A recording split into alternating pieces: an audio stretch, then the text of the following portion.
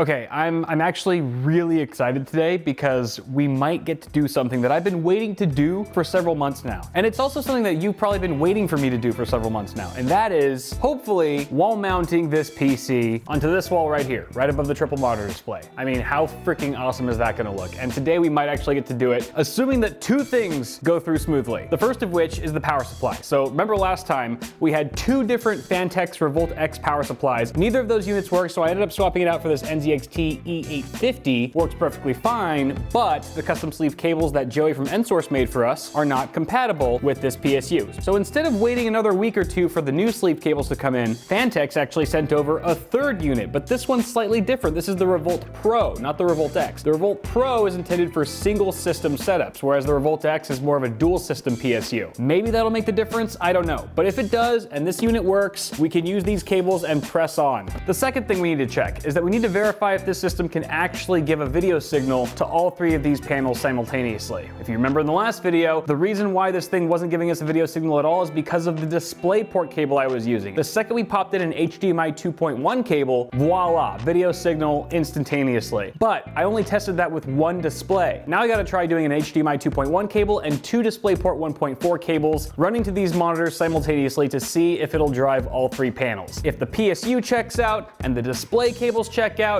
we can move ahead with wall mounting this sucker. So that's what's on the agenda today. Let's get it done.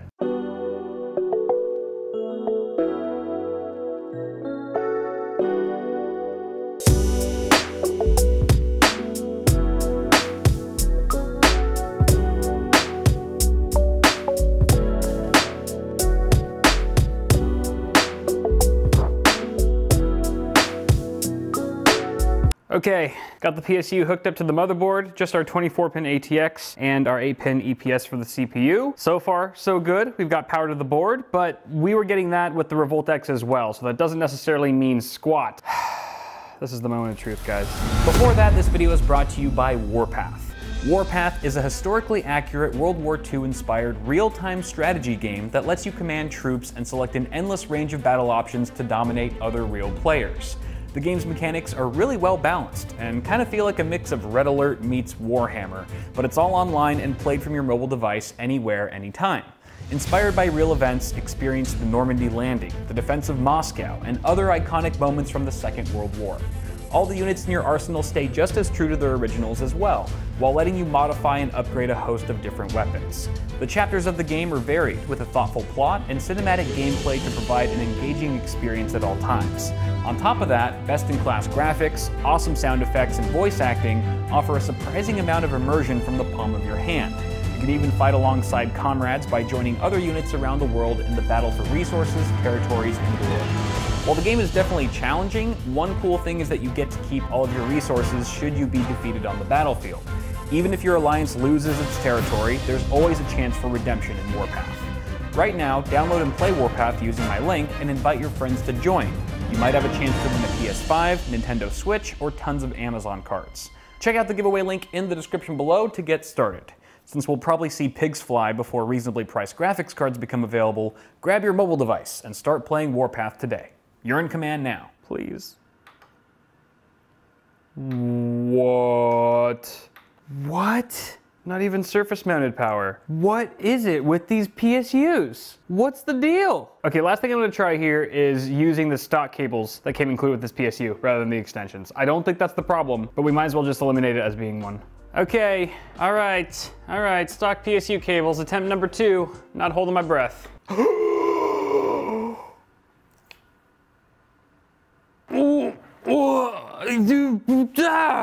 You! Ooh! Ooh! No, no, no, this doesn't make any sense. This makes no sense. I remember with the Revolt X, for both units, I used the stock PSU cables, eliminating the sleeve cables as the issue. So why all of a sudden is it giving us problems now?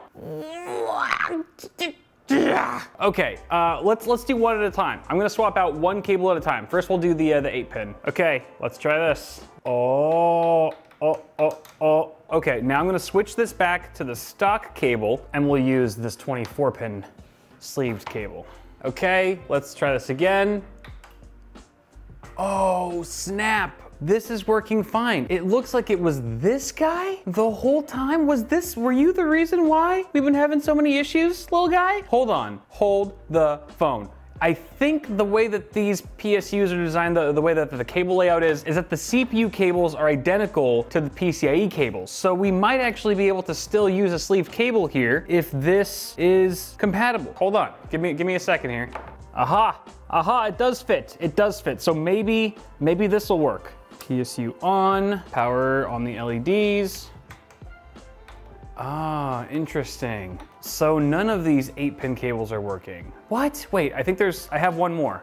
I have one more that I can try out. Okay, just swap cables. This is the last cable that we can try out here. Nope. Okay, there's something going on. This was, this was the issue? But I could have sworn I used the stock PSU cables for the Revolt X in the last video and it still didn't work. I'm gonna verify that really quick. Aha, right there. See?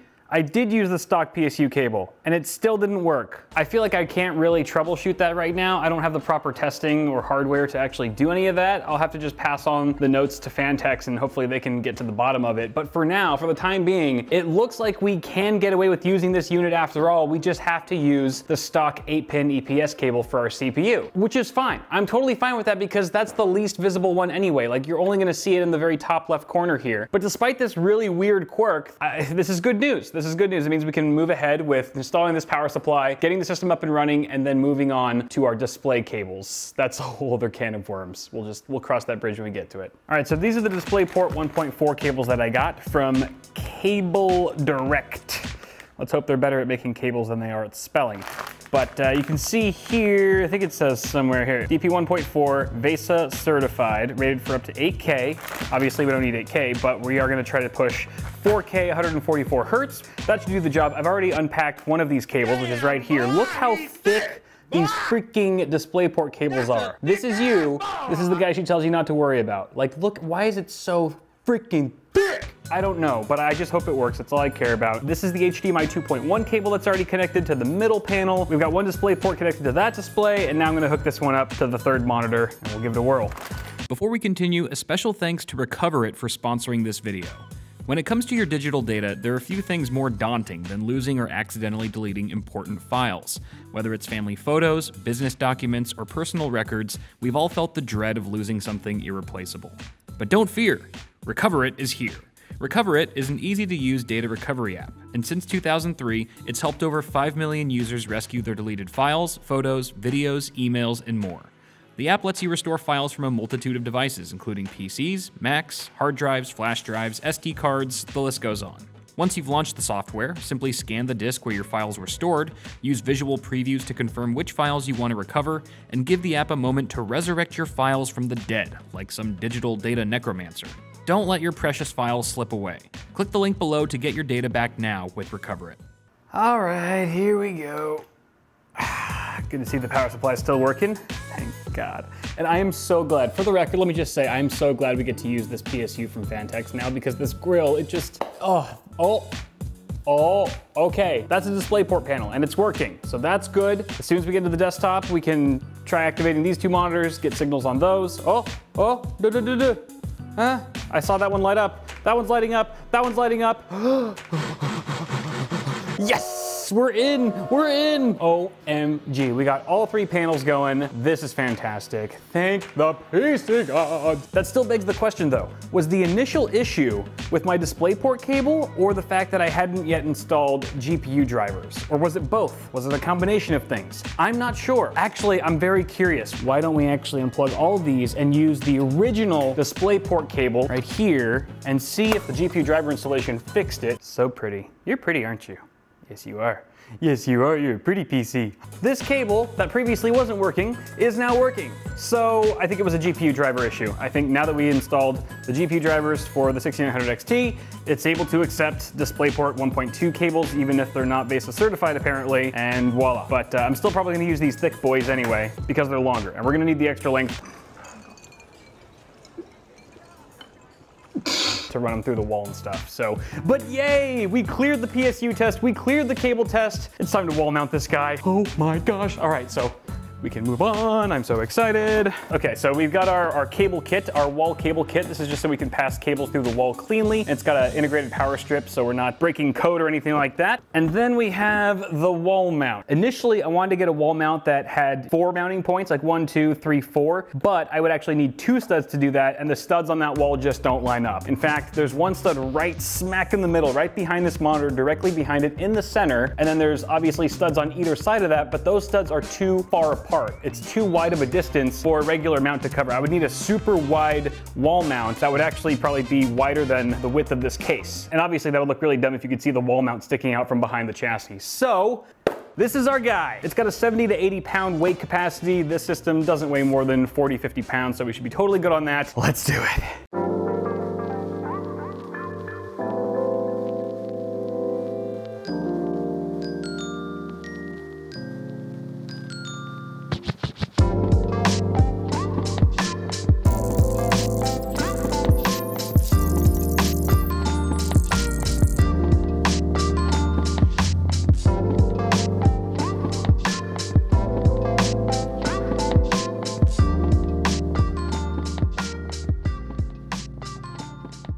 Okay, the PC is on the wall, but we're not out of the woods yet it is tilting. I, I screwed in the, the screws and I tried to make it as straight as possible. It's not happening. This arm mount is not designed for PCs. It's designed for TVs, and most TVs these days are pretty flat. They're pretty thin. This is relatively front heavy for, for this particular arm mount. So that's why there's a serious tilt and I don't like the way it looks. So even though we're very close to being done here, um, I, am gonna have to MacGyver something because there's no way that I can get this any straighter than it already is using the stock hardware. So we have to get a little creative here, which I've already begun the process process of doing that. Okay, so here's a here's a peek behind. You can see that uh, we got the wires, by the way, behind the wall and stuff. I just have to route them a little bit more neatly, uh, but we'll do that in a sec. So this is what I did. Uh, there's actually two screws on the back of this case that thread perfectly with, with thumb screws. So I took some thumb screws and I had these little hooks on hand. I just mounted those to the back of the case, one on each corner at the top, and then I mounted a third one right here. This is into the stud. And basically what I'm gonna do is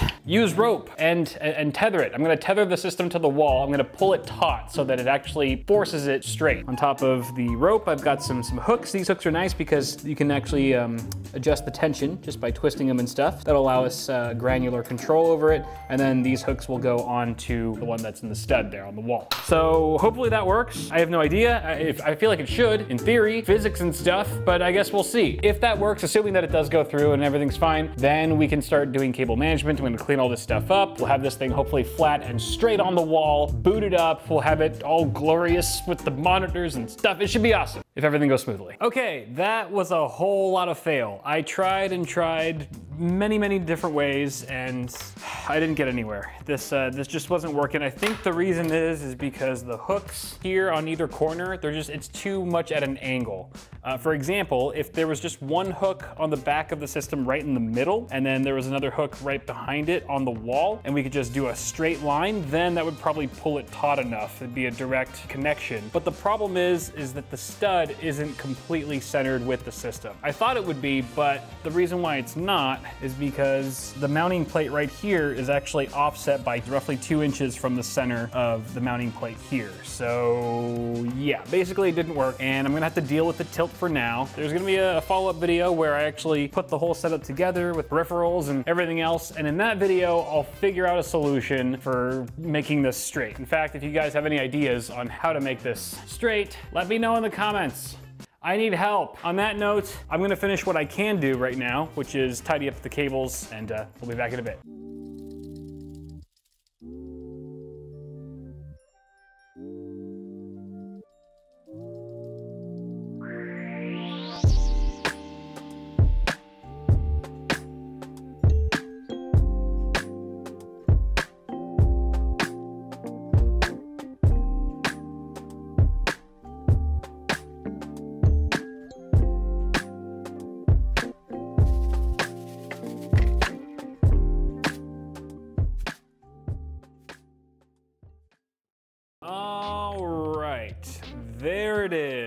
Progress we've made so far today. I've spent a good, well, I am afraid to admit it, like 10 to 12 hours today just working on this. But so far, totally worth it. It looks super clean already, and this is by no means the, the final look. This is just to give you an idea of what we've done so far. I'm gonna change out the peripherals, probably a different Ensemble One mouse pad, different wallpaper. This is just to give you an idea of what it looks like right now um, with everything put together. I haven't even put the, the tempered glass, I guess, front panel onto the case because I didn't want it super glary. Plus I gotta save some stuff for the next video um, when we'll actually do the final reveal of everything. You can see I haven't done cable management, but just to give you a quick overview and rundown of what we did today, we mounted this PC to the wall and we still need to figure out a way, of course, to make it completely straight. Oh, here's a look at the backside of everything. Actually not too bad, pretty clean, fairly tidy. There's some more tidying up that I could do, especially like the camera and stuff, but uh, overall looks pretty good. So we mounted the PC to the wall and it looks glorious up there. I just hope it doesn't fall and kill me one day. We also have the camera and microphone for our stream setup. So I just bought like one of these little uh, arms for it, put a tripod head on it so I can just like hot swap it, or not hot swap, just like quick disconnect. Why am I using all these PC terms? Here's the microphone, Sennheiser MKH416, a beast of a mic on a boom pole from Neewer. And you can see that I actually, uh, I bought a wall mount for that as well. So it could just stick into the wall since there's just not enough clearance to actually mount it to the back of the desk. Just interfere with the wall. So that's looking pretty good. Uh, the monitor's looking great as well. And let's see what else. Oh, as far as like what I've connected to the system, obviously we have the three panels. There's ethernet, which is 50 foot, I believe. That's just been routed very messily, haphazardly to the router up there. But uh, at some point or in the next video, I'm gonna route it cleanly, probably hug the uh, underneath the desks all the way around, up and back, so it's super clean. And I also routed two USB 3.0 extension cables, which are out right here. You can see my, my keyboard's already plugged into one of them, but I'm actually gonna uh, plug in a couple USB 3.0 hubs to these, so I have even more ports to play with. But uh, yeah, I'm probably gonna mount those USB 3.0 hubs underneath the desk, so it's just easy access and out of sight. I'll have an audio interface with XLR input and stuff for the microphone, somewhere within reach. That'll be visible, of course. And let's see what else. You know, it's looking a little blank up here. Obviously, we're, we're only like halfway done with the whole setup and stuff, but I was thinking maybe some bookshelf speakers on either side. I don't know. What do you guys think? Any ideas? There, there's a bunch of other things I could do. Possibilities are limitless and all, but uh, if you guys have any uh, suggestions, I'd love to hear them. Um, this is uh, still a work in progress and nothing's really set in stone except for the monitors and the PC, of course. You know what's kind of funny? I can hardly reach the power button up there. like I could, I could if I really wanted to, but I've been using the, the surface mounted power. But I'll probably have to get, ooh, you know what? Maybe I'll bring back this guy. My big ominous button of doom. Just set it somewhere on the desk. You can actually program this. I got it on Amazon. I'll link it in the description. In fact, everything that you see here today, I'll, I'll link in the description for you guys. You can program this to do pretty much anything, like wake your system up from sleep, lock your system, blow up your enemies. No, doesn't do that. But uh, that'd be kind of a fun little, I don't know, accessory trinket thing on the desk. I don't know, I'm gonna figure it out. We're, we're gonna dress this up and stuff. Also, I bought some RGB LED strips for behind the system. So there'll be a glow all around the system when that comes in, and that should look pretty sweet. Oh, and remember, remember how I wasn't sure if the riser cable was gonna work with the capture card? Well, hallelujah, hallelujah, hallelujah, hallelujah. Okay, that's that's that's it. But yay, it works. Thank God. But I'm gonna cut it off here, guys. It's been a long day. I hope you guys enjoyed the progress. I hope you're enjoying the uh, the, the build log so far of this new setup. Let me know what you think down below. Toss a like on the video. Get subscribed if you haven't already, and I will see you guys in the next video.